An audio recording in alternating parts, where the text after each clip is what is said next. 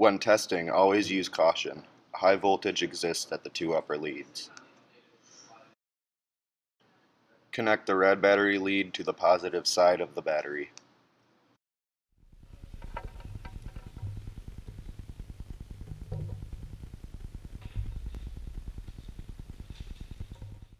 Place the selector switch of the tester in 12 or 24 volt position to correspond with the voltage of the battery.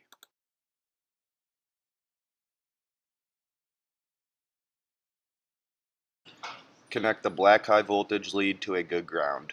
If you are testing a lead with wire braid, connect the black high voltage lead to the cable being tested.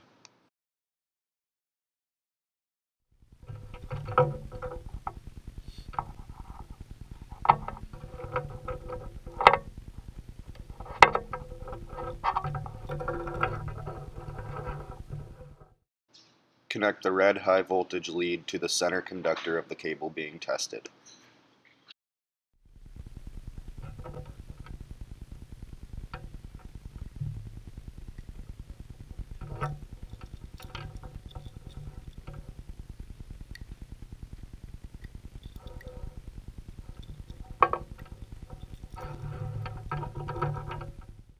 Use an alligator clip to complete the circuit by connecting it to the negative side of the battery and to the housing of the leads.